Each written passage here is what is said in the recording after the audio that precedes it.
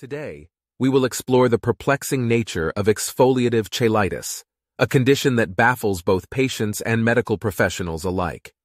Join us as we uncover the reasons behind its elusiveness and the absence of a specific treatment. Let's get started. Exfoliative cheilitis is relatively unknown to the general public, even among healthcare providers.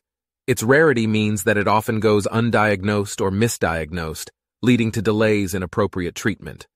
The lack of awareness hampers research efforts and the development of targeted therapies. Exfoliative cheilitis exhibits a wide range of symptoms and severity levels, making it a complex and heterogeneous condition. It presents differently in each individual, making it challenging to establish a universal treatment approach.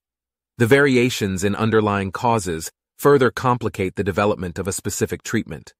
The exact underlying causes of exfoliative cheilitis are still unclear.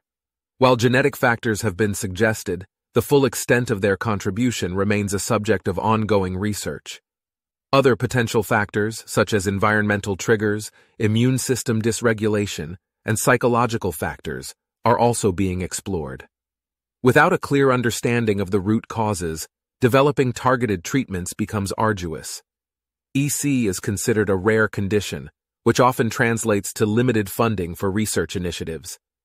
The scarcity of financial resources slows down progress in unraveling its complexities and hinders the discovery of effective treatments.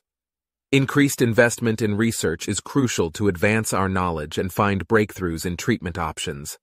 Exfoliative cheilitis poses diagnostic challenges due to its overlapping symptoms with other lip conditions and the absence of specific diagnostic markers. This leads to confusion and delays in receiving an accurate diagnosis. Even with the existing treatments available for exfoliative cheilitis, there is a notable variation in individual responses. What works for one person may not work for another.